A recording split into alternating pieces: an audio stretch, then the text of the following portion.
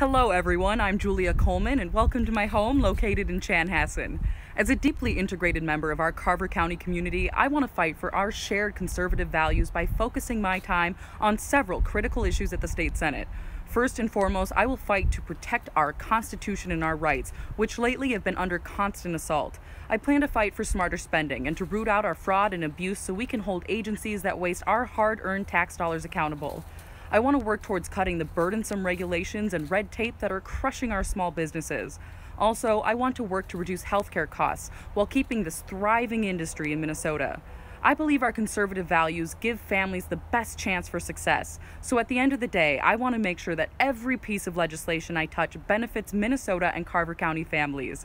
I hope I can count on you to caucus for Coleman on February 25th.